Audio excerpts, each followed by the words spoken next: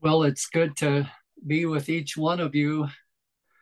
Uh, it, it's morning for me, but I know that it's it's all different times for the rest of you. But it's just so precious to to uh, be able to connect this way. And uh, I thought maybe um, I'd start out with just reading uh, out of our little flock hymn book it's hymn number 195. And it starts out worthy of homage and of praise, worthy by all to be adored. But the third verse says, To thee, even now, our song we raise, though sure the tribute mean must prove. That, that word mean just means it must be very small. No mortal tongue can tell thy ways so full of life and light and love. And that's the, the uh, phrase I particularly was thinking of. No mortal tongue can tell thy ways, so full of life and light and love. that's what I'd like to speak on um, a little. First of all, the ways of God and then to focus particularly on the way of peace. So maybe we could turn to Isaiah 55 for an in, introductory verse. Isaiah 55 and and uh, let's read um, the first part of verse 3. It says, Incline your ear and come unto me, hear, and your soul shall live. And then verse 8 says, For my thoughts are not your thoughts, neither are your ways my ways, saith the Lord. For as the heavens are higher than the earth, so are my ways higher than your ways, and my thoughts than your thoughts. You know, our lives uh, are very short. And as we get older, we're reminded more of that. We just have a certain amount of time. And it is our desire, isn't it, as, as redeemed of the Lord Jesus, to, to learn what we can about him and to do what he would have us to do. And so, you know, um, he tells us here in Isaiah 55 My thoughts aren't your thoughts, neither are your ways my ways, saith the Lord. Last time um, I spoke, I spoke a little of that uh, poem that was found in Mr. Darby's Bible, in which it was written, Lo at thy feet, Lord Jesus, this is the place for me. Here I have learned deep lessons, truth that has set me free. Free from myself, Lord Jesus. We took that up previously. Free from the ways of men. Chains of thought that have bound me never can bind me again. And so to be freed not only from ourselves, but from uh, the ways of men, because they're the ways that um, really involve our own natural wisdom and the ways that we learn is passing through this world and and uh, even going to its learning institutions. We we learn the ways of men. But here god tells us you might say he he um, gives our thoughts to turn away from these ways that we so rely on to tell us that that his ways are completely different. And he invites us to learn them. And we really, that's what we have to do. I believe that there's two things necessary to, to learn the ways of God. One of them is to realize that we don't have them, they're not our ways. And secondly, that it, it has to be a desire to learn his ways, and then we only can learn them in his presence. And again, they're not only different than our ways, they're higher than our ways. The Apostle Paul, in, in uh, as he writes the book of Romans, and, and just how wonderful good news it's he uh, goes into such such depths because he's he's not preaching it to sinners. He's he's giving us as believers to enter in more to the fullness of it. And you know as he as he goes through it and and he sees how that god concludes all in unbelief as he goes through and, and shows how that while he's going to bring in his wonderful salvation, that doesn't interfere or conflict with his government in this in his ways in this earth. They can still be carried on simultaneously. He points out how that, that God can show grace and yet maintain his righteous and holy character. He shows how that um, he can bring in the wonderful epic, the wonderful dispensation of the church, and yet still keep his promises to Israel. And as he goes through this all, he comes to the end in the 11th chapter. And, and in consider as he considers it, he just opens up and he says, Oh, the depth of the riches both of the wisdom and knowledge of God. How unsearchable are his judgments, or untraceable are his judgments, and his ways past finding out. His ways past finding out. Does that mean that we can't learn or know his ways? It doesn't mean that. But it means that we'll never come to them ourselves we have to again we have to learn them by being in his presence. Have you ever have you ever tried to anticipate um, what the lord is going to do in someone else's life? You, you kind of observe and you say I'll, I'll bet the lord is going to do this next and you find out no no his his ways his thoughts are so much higher.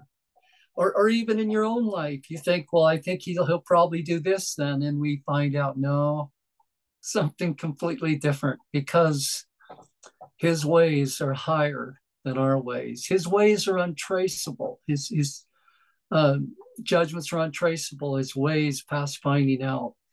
But he wants us to know his ways.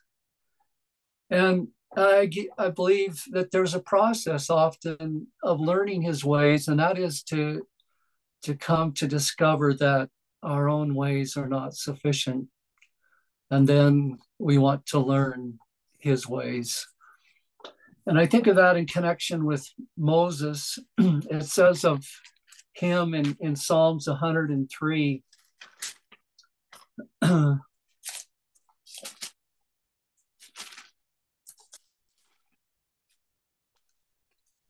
in verse 7, it says, He made his ways he made known his ways unto Moses, his acts unto the children of Israel.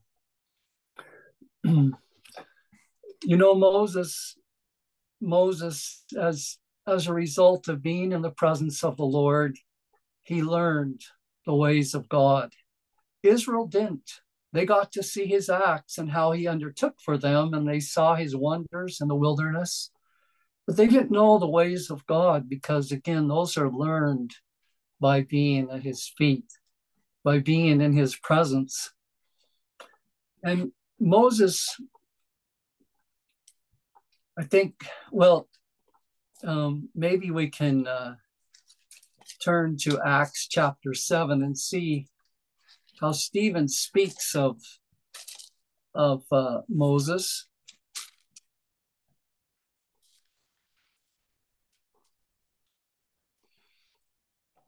In Acts chapter 7, in verse 22, we read, in, in which time Moses was born and ex- was exceeding fair, excuse me, no, let's, let's go to verse 22. And Moses was learned in all the wisdom of the Egyptians and was mighty in words and deeds. And when he was full 40 years old, it came into his heart to visit his brethren, the children of Israel. And seeing one of them suffer wrong, he defended him and avenged him that was oppressed and smote the Egyptian. For he supposed his brethren would have understood how that God by his hand would deliver them, but they understood not. And the next day he showed himself unto them as they strove and would have set them at one again or, or um, had them go on in peace together, saying, Sirs, ye are brethren. Why do ye wrong one another? But he that did his neighbor wrong thrust him away, saying, Who made thee a ruler and a judge for us? Wilt thou kill me as thou didst the Egyptian yesterday? Then Moses fled. And then we can drop down to verse 35. This Moses, whom they refused, saying, Who made thee a ruler and a judge? Notice that a ruler and a judge. The same did God send to be a ruler and a deliverer by the hand of the angel which appeared to him in the bush. You know, there's a real difference, isn't there? The Lord had communicated to to Moses that he was going to be the one that would deliver and lead out his people out of Egypt. And so, as he goes in the wisdom of his own thoughts and his own ways, uh, he tries to bring that about. And first, it involves the killing of a man. And then, secondly, um, to have his his uh, brethren look at him as he tries to be this leader and, and do the will of God and, and say to him, Who made thee a ruler and a judge over us? But as the result, I would say, of learning the ways of God, Stephen could say, the same, this, the same, this, this Moses did God send to be a ruler or leader and a deliverer. That's the result of learning the ways of God. But again, Moses had to first experience that his thoughts, his ways, were never going to accomplish what God had for him to fulfill. and I think we can see that back in um, Exodus chapter 32,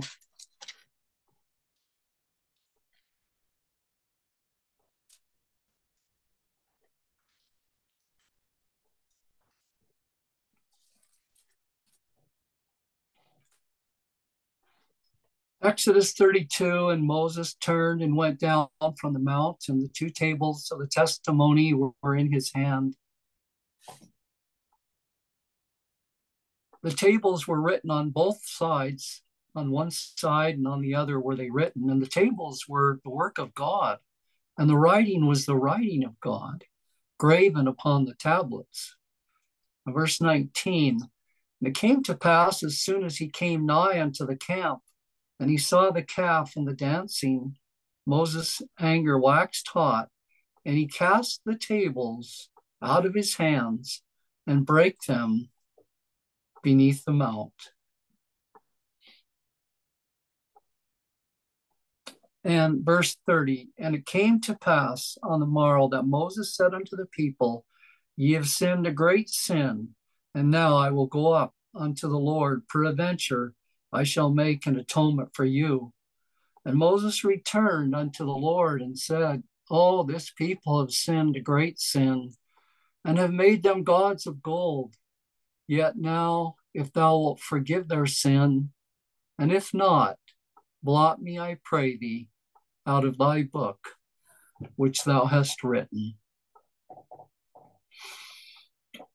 Moses had spent 40 days and 40 nights in the presence of God. And when he comes down into that scene that was so contrary to the scene he just left in the presence of God, he takes those very stone uh, tables of stone that God Himself had written on, and he shatters them at the base of the mountain. How did he know to dare to do that? Well, I believe that it was the result of having learned in God's presence the ways of God. Otherwise, he wouldn't dare to, to destroy what God had just written in stone. But then he also says to the people after he brings before them their sin, he says, Yet now um, I'll go and, and try seek to make an atonement for your sin. And he can go into the presence of God and say, If thou forgive their sin, if not, blot me out of thy book. And so, one of the ways of God that he had learned in that time was the mercy of God.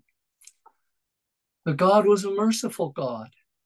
And that's why he could, he would accept taking those stones that would have condemned the people and, and brought in death and, and breaking them and going back up into the presence of God and pleading for his people. And you know, in, in chapter 34, then it says in verse 7 and Moses took the tabernacle and pitched it without the camp, afar off from the camp, and called it the tabernacle of the congregation. And it came to pass that everyone which sought the Lord went out unto the tabernacle of the congregation, was which was without the camp.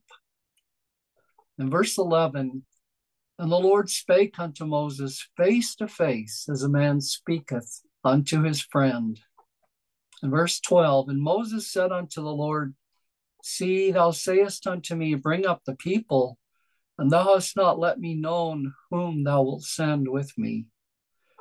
Yet thou hast said, I know thee by name, and thou hast also found grace in my sight. Now, this verse. Now, therefore, I pray thee, if I have found grace in thy sight, show me now thy way, that I may know thee. Note that he doesn't say, Show me now thy way, that I may lead this people through the wilderness. That certainly was his responsibility and what God had given him to do.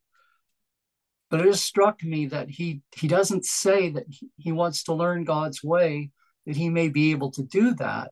That's the only way he could. But his particular and first purpose was that I may know thee, and I might find grace in thy sight, and consider that this nation is thy people. And he, God said, My presence shall go with thee, and I will give thee rest. And he said unto him, If thy presence go not with me, carry us not up hence. How did Moses know to take the, the tabernacle or the tent and pitch it outside the camp? Again, he learned the ways of God in holiness. And he realized that's what was um, the thing that was very important to do at that time with the sin in the camp. But then he goes to the Lord and he says, in effect, Lord, I can't do this job. I can't lead a million and a half people through the wilderness. He didn't know at that time, I'm sure, that it was going to be for 40 years, but just that impossible job. And so he says, you haven't said who you'll send with me. And he says, If thy presence go not with me, carry us not up hence. And then he says, Show me now thy way. Well, he learned that day that God is not only holy, but God is not only merciful, but the Lord revealed to him that he was gracious. And it was going to be by his grace that Moses would be able to lead his people to the promised land. And when you think of 40 years of what he endured and all the complaining and the murmuring and the and the sinning and the tempting God and, and so on, how was he sustained? we know it was only because he learned the ways of God. God showed his ways unto Moses. And Moses appreciated them, and he so valued those ways that he realized that through learning the ways of God, he was learning God. Show me now thy way that I may know thee. So I thought maybe that we could uh, turn to Luke chapter 1 and just focus on one of those ways.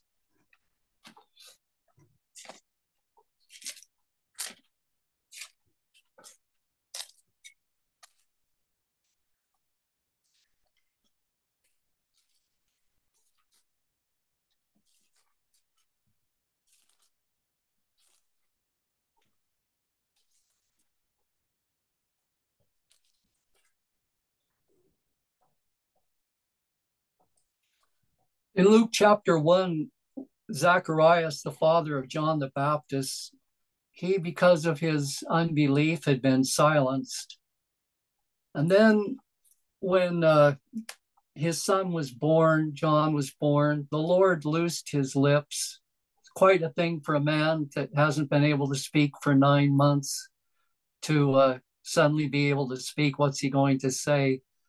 Well, God had wrought with him and, and he, st- he says in verse 68 Blessed be the Lord God of Israel, for he hath visited and redeemed his people, and hath raised up a horn of salvation for us in the house of his servant David, speaking about the Lord Jesus. And then in verse 77 of Luke 1, it says, To give knowledge of salvation unto his people by the remission of their sins. Through the tender mercy of our God, whereby the day spring from on high hath visited us to give light to them that sit in darkness and in the shadow of death. And now, this is what I had in mind, particularly to guide our feet into the way of peace.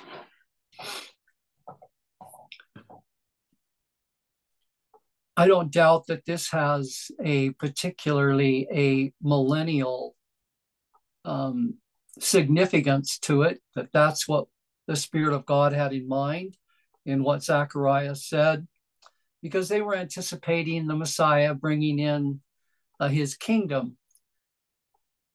But I think that we can also enjoy this way of peace as believers in the Lord Jesus in our pathway now.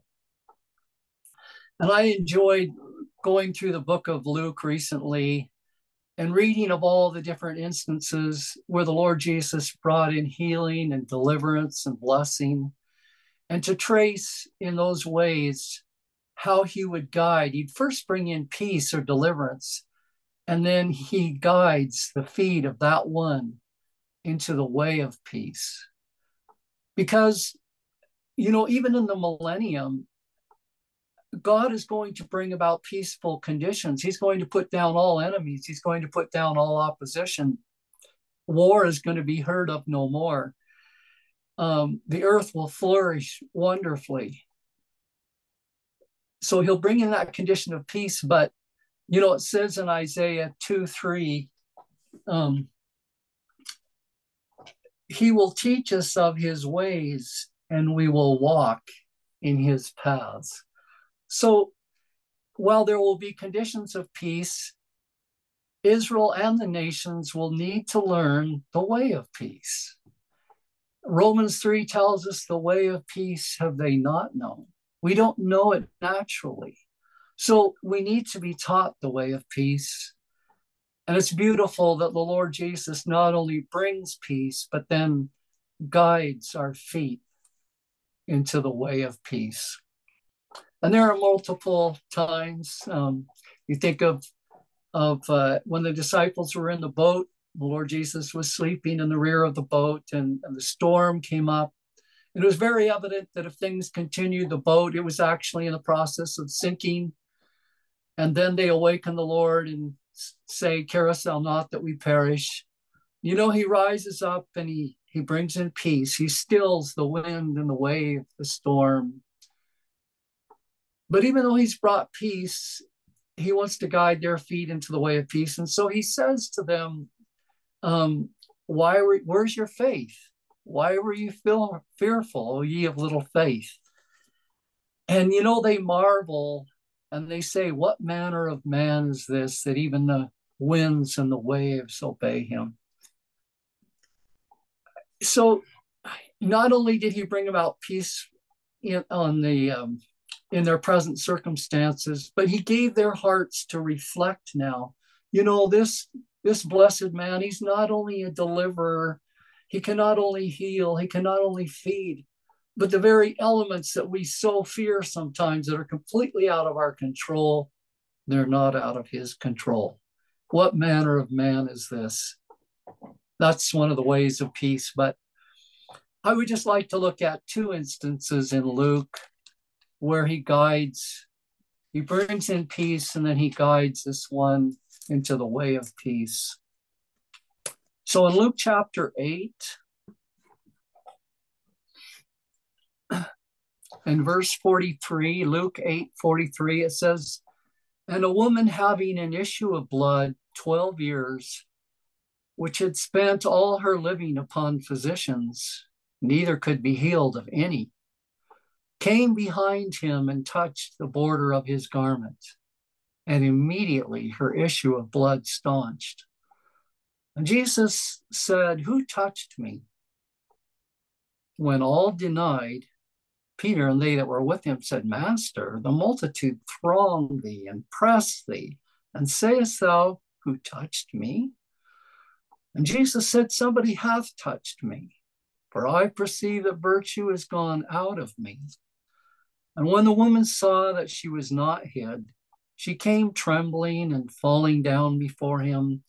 She declared unto him before all the people for what cause she had touched him and how she was healed immediately. And he said unto her, Daughter, be of good comfort. Thy faith hath made thee whole. Go in peace.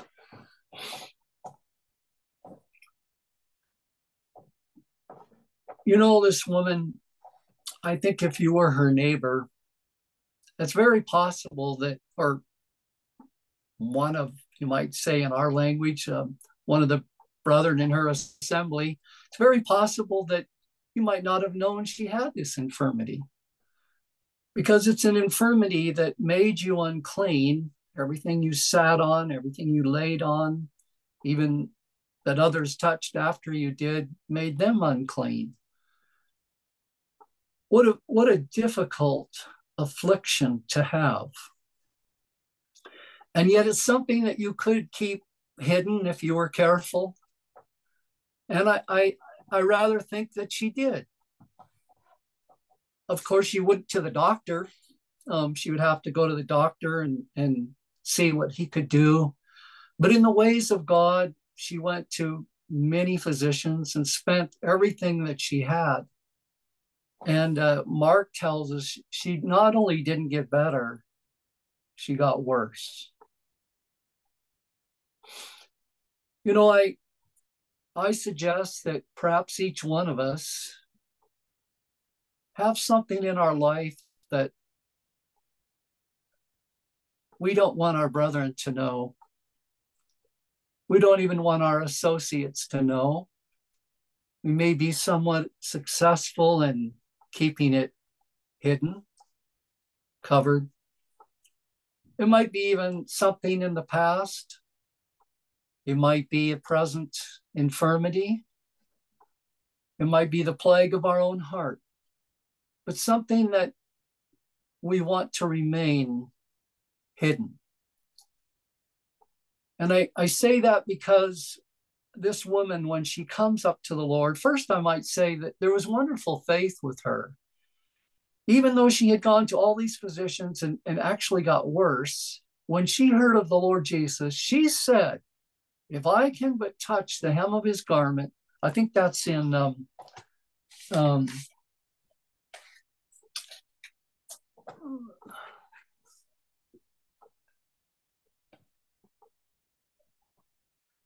that's in Matthew 9 21, where she says, If I may but touch his garment, I shall be whole. There was full confidence that the Lord could heal her.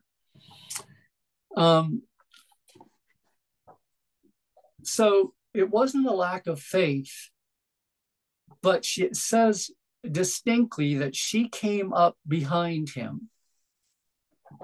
And maybe when we first read it, we just say, well, there was a huge crowd, and that just happened to be the avenue that she could get up to him. But it seems like as you read it in all the Gospels, with a purpose, she thought to just come sneak up behind him, not even touch him, just touch the hem of his garment. And she was confident that she would be healed. And she did that, and she was healed. It says she felt in her in her body that she was healed. Now she can just slip away, none will be any the wiser for it. And that's exactly what she tried to do.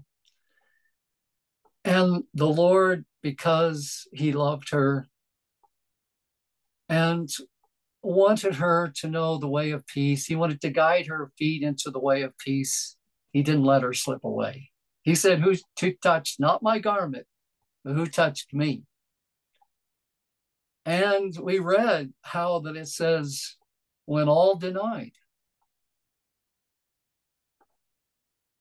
You know, if you and I are living before men, and so much we do, there will be times in order to maintain this image or that they wouldn't know our weakness or infirmity or or this matter that's afflicted us uh, we won't be truthful at the least we may give a false front or false impression to try to maintain what they think of us. And so she denied. When the Lord turned around, she must have said, Wasn't me. But the Lord didn't leave that her there. And of course, the disciples came to her aid and said, Lord, all these people touching you and pushing you and stuff, and you ask who touched me? But you know, he must have kept looking at that woman. And whatever she saw in his eyes, whatever she sensed in his voice, it says in verse 47 and when the woman saw that she was not hid, she came trembling and falling down before him, she declared unto him before all the people, nothing hidden, everyone there, for what cause she had touched him and how she was healed immediately. And he said unto her, Daughter, be of good comfort. Thy faith hath made thee whole. Go in peace. You might say in our language, she was a believer, but even as believers, we can have this anxiety, this continual um, lack of peace, trying to maintain our image before our fellow man that the Lord wants to relieve us of. And you know that very that very seeking to preserve that will keep us from the enjoyment of what he thinks of us and what we are to him. So he he says to her, "Fear not." Um, excuse me, uh, daughter, daughter. Imagine. She, I don't know if the Lord said that directly to any of the others as he as he healed and blessed. Perhaps he did. I meant to look that up. But from the Son of God himself, she heard, Daughter, be of good comfort. You're mine. I want you to go in peace. And you know, even if everyone else knows now what your difficulty was, I love you and you're my daughter. We don't want to miss that. It will give us such peace if we lay hold of what we mean to Him and the enjoyment of our relationship as the sons of God, as the children of God, as the household of God And again, this matter of, of trying to maintain or keep hidden um, is conflicting with the enjoyment of that. Let's look at the other one in in uh, Luke chapter 10.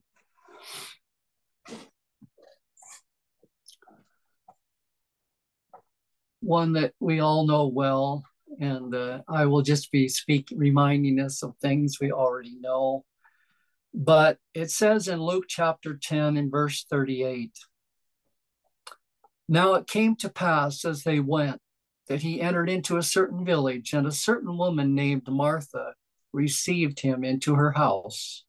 And she had a sister called Mary, which also sat at Jesus' feet and heard his word. But Martha was cumbered, and I, I wanted to read this in JND's translation. Excuse me.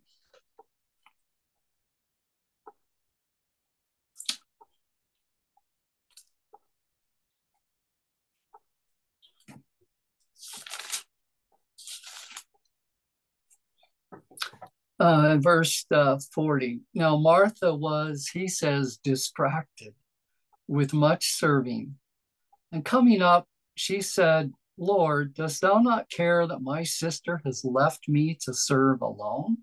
Speak to her, therefore, that she may help me. But Jesus answering said to her, Martha, Martha, thou art careful and troubled about many things, but there is need of one and Mary has chosen the good part, the which shall not be taken from her.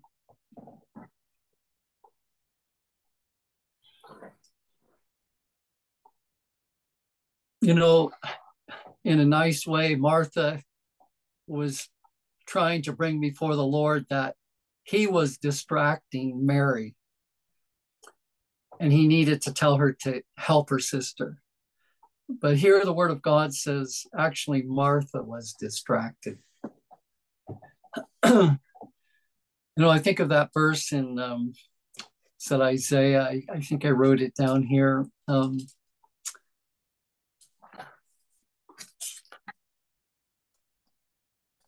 Thou wilt keep in perfect peace the mind stayed on thee, for he confideth in thee.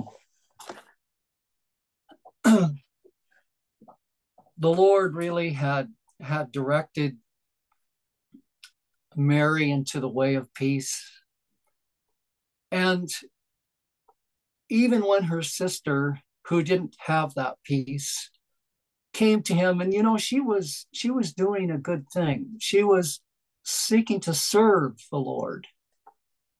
Isn't something that our service for the Lord can actually become more to us than He Himself. That's a danger.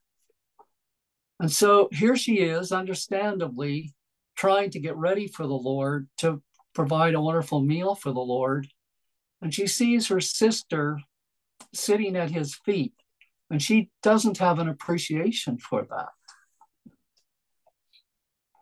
But you know, Mary Mary's proving that. She's sitting at his feet, wonderful place of, of the proper attitude in the presence of the Lord.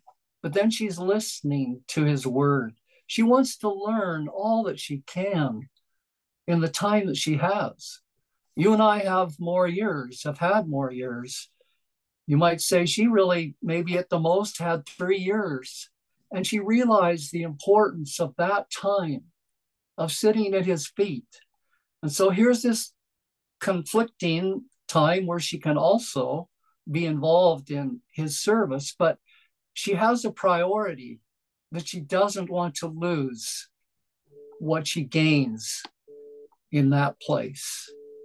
And you know, you and I don't want to either. I there's an old widow sister that lives in an assembly. She's Romanian. She lives in an assembly not too far from Walla Walla, where I live. And um, I call her in the spirit of the Apostle Paul in Romans, I call her mom. Rufus's mother wasn't Paul's biological mother, and neither is is this sister my mother. But I call her mom because she's been such a help to me. She's a woman of faith. And every time I have the privilege of seeing her, I say to her, Mom, what do you have for me this time? And one of the times I asked her that, she said, Well, you know, um, in Matthew 6 6, where it says, And when thou prayest, enter into thy closet and shut the door and pray to thy father in secret. I said, Yeah, I remember that. She said, Well, lock it. I said, Really? Yes, lock it. I said, Why? She said, Because that's the time that is indispensable for you to be here for his delight and joy. That's the time that you cannot dispense with if you're going to fulfill what is his will in your life. And there's everything, the enemy will try everything he can because he knows that to try to interrupt that time. She said, Don't take your phone in with you because those little things, you know, you get, oh, yeah, I wonder who that is. I, but she said, Don't even take in your anxious thoughts as to what you have to do to work and the things that the time limits that you have and so on. She said, That time is just for him and it's just with him. And don't go in there with any agitation because then you can't sit quietly in his presence. Yes, to read and pray, that's essential. But just to sit and to listen and to learn his heart and to learn his ways. And so when, when Martha, not enjoying this, is agitated, the Lord says to her, Martha, you need to learn. You need what Mary's enjoying. You need this. And if I could put words in his mouth, he would have said, I would far rather you be here right with her and we could skip the meal. I value your presence and, and being able to speak to your heart more than anything else. We're told in Mark 3, is it? He chose 12 that they might be with him and then he might send them out. First of all, that they might be with him. And then he says to her, that part that she has chosen, and, and it is a matter of choice, isn't it? Our priorities in life, and that priority in particularly, is only the result of making definite choices where we have to determine that we're going to let this go, but we can't let that go. But our our um I, I forgot my thought right there, but um, oh, it said the Lord said, "This part that she's chosen, it won't be taken away from her." You know, much of the anxiety and and distress that we carry in our life is the result of fearing that we're going to lose something that we have, isn't it? Maybe monetarily, maybe our possessions, maybe our house, maybe our health, maybe even our loved ones. The fear that we are going to lose them. And so the Lord says, Mary's got something in this she can't lose. And I, I can see we're running out of time again. Let's let's just look and see how indeed she can't lose them because you come to John chapter 11 we know that each time you find Mary, you find her at the feet of the Lord Jesus. But now she's in the sorrow of death. What a test for our peace. And excuse me, that's in in um,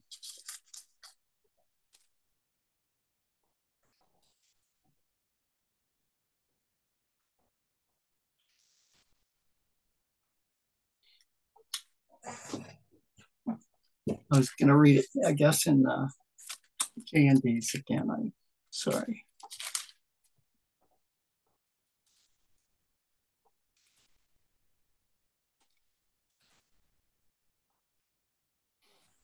In John chapter 11, we know that Lazarus has died. The sisters are heartbroken. They had sent to the Lord, he had delayed. And then he came when she had died. And in verse 20, it says, Martha is one that was covered with many things. Then, when she heard Jesus is coming, went to meet him. But notice, Mary sat in the house. Martha therefore said to Jesus, Lord, if thou hadst been here, my brother had not died.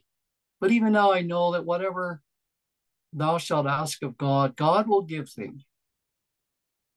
Jesus says to her, and so on. You know, I think sometimes we shortchange Martha, but Martha's actually saying here, if I understand, you didn't come here when my brother was alive. You could have kept him from dying. But even though you've delayed, you can still ask God. And I, I only take it that she she was in, inferring that God would raise him up. But she's not at peace, is she? She's she's trying to direct the Lord. And so the Lord speaks to her very graciously. But you know, Mary, because she learned the way of peace, she didn't leave. She comes to the Lord. Well, well, Martha goes to the Lord. Let's see. Verse 28. And having said this, she went away and called her sister Mary, secretly saying, The teacher has come and calls thee. When Mary hears that, it says, She, when she heard that, rises up quickly and comes to him. Now, Jesus had not yet come into the village, but was in the place where Martha came to meet him. The Jews, therefore, who were with her in the house, consoling her, seeing Mary, that she rose up quickly and went out followed her, saying, She goes to the tomb that she may weep there. Mary, therefore, when she came where Jesus was, seeing him, fell at his feet, saying to him, Lord, if thou hadst been here, my brother had not died. You know, we might say and have said, well, she said the same thing as Martha.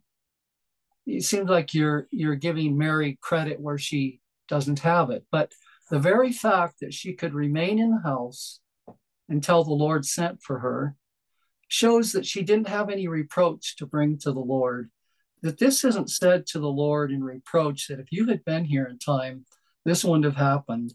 But she was simply saying, because she knew him as sitting at his feet, I know that if you would have been here, he wouldn't have died. But she doesn't say like Martha, but you can, you know, you can ask God. That's all she says. And there she is at his feet. That's all she wants. She's content, even in the midst of her sorrow, in the presence of death. She's at peace, though she can weep. And her being there in that place brought out the sentiments and the heart of the Lord Jesus. Something that Martha didn't see. Maybe she saw it there? I don't know, but she didn't see it when she went to the Lord. But when the Lord looked at Mary sitting at his feet, his own heart was free to express itself. The, the, the sentiment, the deep feelings that he had as he saw the sorrow that sin brought in. And so we have that wonderful short verse Jesus wept. And that's what we learn, isn't it? At, at the feet of the Lord Jesus, we not only learn his ways, but we learn his heart. We know his comfort. And that's the only comfort that can give us to rise above and be peaceful in the midst of even the sorrows of death, which are very real.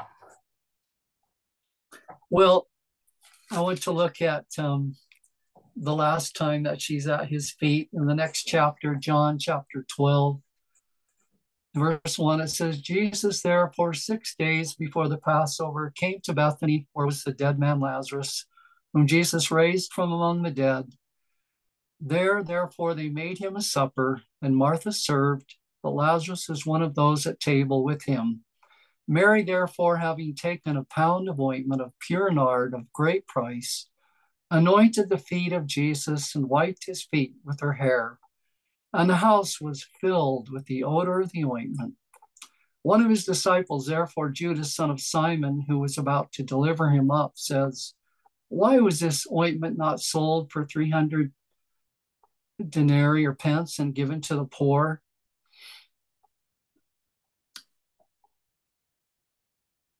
But he said, um, verse 7 Jesus therefore said, Suffer her to have kept that for the day of my preparation for burial. For you have the poor always with you, but me you have not always. You know, here is here is a time when Mary, no doubt her her her time being at the Lord's feet, she had learned what he was going to do. And she wanted to be prepared for that moment, and she was. And she took what she had been keeping up for I don't know how long, but something that, that was uh, her treasure, you might say, probably her dearest earthly treasure. And she wanted to break it, spend it all, pour it all out on the Lord Jesus. And she does that. and we know that it's a picture of worship. Here she is able to give back to him something of the expression of what she's learned and come to treasure in being able to, as he says, she's done what she could. She wasn't going to change his course to the cross, and in her intelligence, no doubt she didn't want to, but she wanted to do what she could. And so, in this act, it is so beautiful of worship, picture of worship. She does something for him that is very, very precious to his heart. I, let's take a moment just to turn to Mark 14.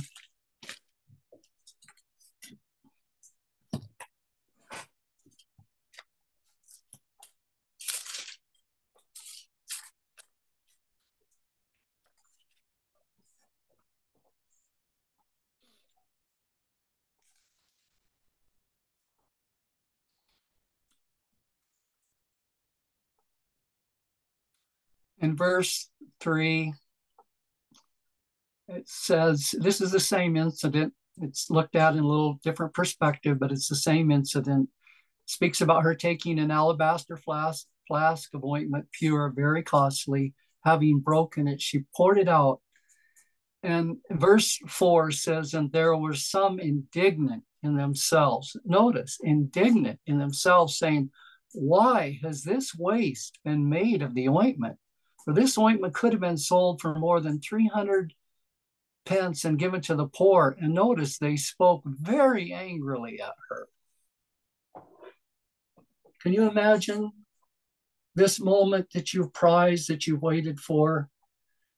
That you came as Mary and broke, didn't reserve anything, and poured it all out on the one that you so love and appreciate.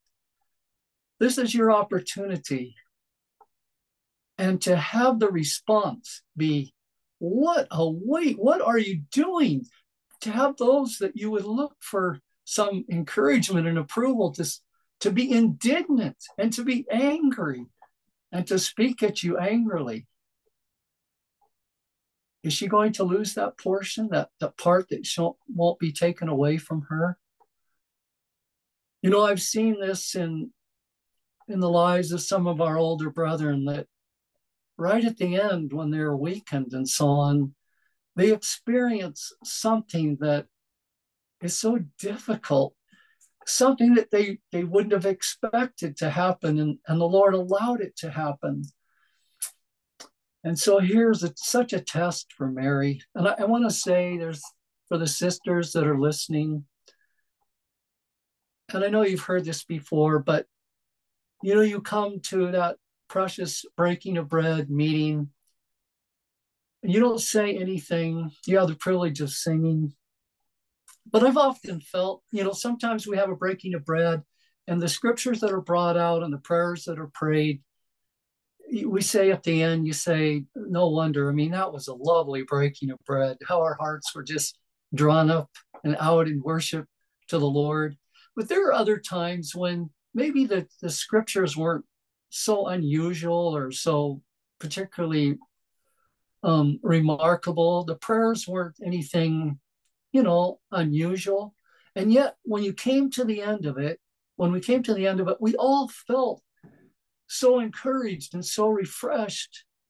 And I just suggest that you say, How did that, how was that? I, I think it was because there were sisters there that were like Mary. They didn't say, she didn't say anything, but they were so in the enjoyment of his love and worship flowing from their hearts that we all, like the house was filled with the odor of the ointment, we all benefit from it. So, know, sisters, that you play a very real part, I think, in the enjoyment of that meeting. Um, but to think that to do that, you might say to give all at that point and to take even your hair. she took her hair and wiped his feet. You know that that that's a woman's glory. Suddenly it's all oily and probably not very attractive. It's like I think the woman covering her head in the presence of the Lord, her glory, because she wants his glory to be before her soul and the soul of everyone. But to think of that moment being the moment when you were you were have these ones that the disciples themselves indignant and to speak angrily. But it wasn't taken away from her, was it? That portion was not taken away from her. The Lord steps in and he says in verse 8 of Mark 14, what she could do, she has done. She has beforehand anointed my body for the burial. And verily, I say unto you, I want you to learn this. I want you to know this. Wherever these glad tidings may be preached in the whole world, what this woman has done shall be also spoken of for a memorial for her. Could we have any doubt of what it meant to his heart, regardless of those that were there that should have appreciated it, not appreciating it? The Lord says, you know, wherever this gospel is preached, wherever you tell souls about how much God loves them and how he sent his son and gave his son for their salvation, you need to accompany it with this, what this woman did. That's how much he appreciated it.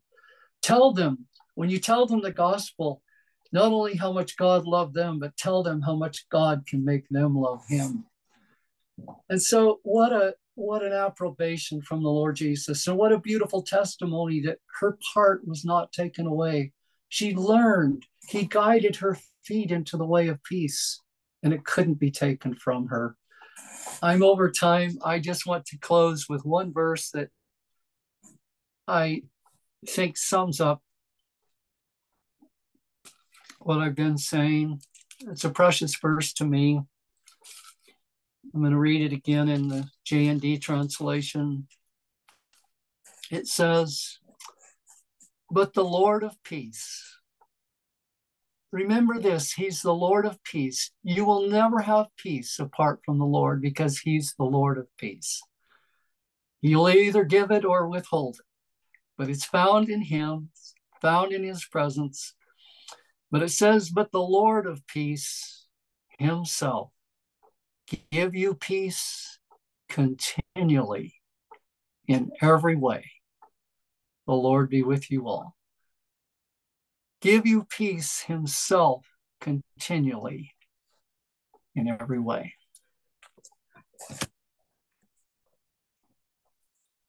Well, should I pray, Brother Leo?